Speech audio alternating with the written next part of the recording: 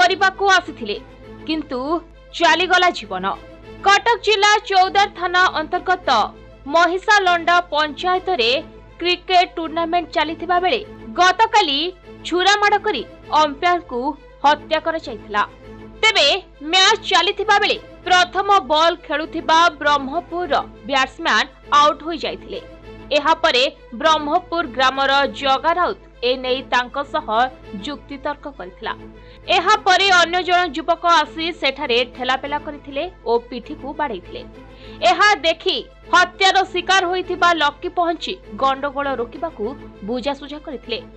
ଏହି ସମୟରେ ଜଗା ତା ଭାଇକୁ ଫୋନ୍ କରି ଡକାଇଥିଲା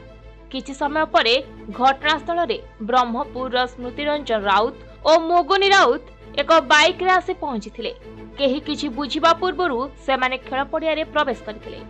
ଆଉ ଜଗା ଓ ସ୍ମୃତି ପଛରୁ ଆସି ଲକିଙ୍କ ଦୁଇ ହାତକୁ ଧରି ପକାଇଥିଲେ ଓ ସ୍ମୃତି ଛୁରୀ ଭୁସି ଦେଇଥିଲେ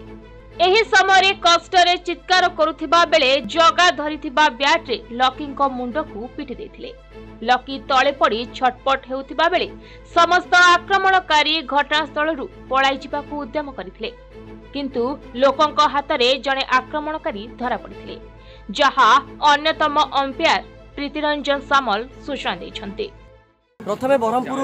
বাড়ুতা বেড়ে তাঁর প্রথম উইকেট টি গলি পরে বাহারে থাকা জগা এবং বাদল আসি যুক্তিতর্ক করে মো ভাই যে লকি রাউত যে চাল যাই সে আসিকি কহিলেন যে কী এটি গন্ডগোল করছ গন্ডগোল করা ভিতরে জগার আউ তার কিছু পাটিতুণ্ড হল এরপরে জগা তার ভাই স্মৃতিরঞ্জন রাউত ফোন করে ডকাই দেলা ফোন করে ডকাই দেওয়ার সি গোটে কলা পলসর বাইক্রে মুগুনি রাউত ওরফ সঞ্জয় ବ୍ରହ୍ମପୁର ତାଙ୍କ ଘର ସେ ତାଙ୍କର ଆସିଲେ ସେ ପଲସର ବାଇକି ଥୋଇଲେ ତ ସାଙ୍ଗେ ସାଙ୍ଗେ ପଡ଼ିଆ ଭିତରକୁ ପ୍ରବେଶ କଲେ ଆଗରୁ ବାଦଲ ଜଗା ଏବଂ ମୁଗୁନି ଆଉ ସ୍ମୃତିରଞ୍ଜନ ସେ ଚାରିଜଣ ହେଇଗଲେ ଚାରିଜଣ ହେଲା ପରେ ବାଦଲ ଆଉ ମୁଗୁନି ମୋ ଭାଇର ଦୁଇ ହାତଟିକୁ ଧରିଲେ ଏବଂ ସ୍ମୃତିରଞ୍ଜନ ଯିଏ ଥିଲା ସେ ଛୁରୀ କାଢ଼ିଲା ମୋ ଭାଇର ପେଟକୁ ବାମ ପଟେ ଆକ୍ରମଣ କରିଦେଲା କରିଦେଲା ପରେ ସଙ୍ଗେ ସଙ୍ଗେ ସେ ଟ୍ରେନ୍ରେ জর্জরিত হওয়া সময় জগা রাউত পছর কম কলা না দুই থর তা মুন্ডর মুন্ডকু প্রহার করছে এই সময় সাংে সাংে সে সেখানে টলি পড়লা এবং গ্রামের চারজন যুবক তাঁকু মেডিকাল নিয়ে যাই যেখানে ডাক্তার তাঁকু মৃত ঘোষণা করেছেন তেবে গতকাল এপরি ঘটনা ঘটিথিবা বেড়ে অতি গুরুতর অবস্থায় লকিঙ্কু কটক বড় মেডিকাল স্থানান্তর করা যাই কিন্তু সেখানে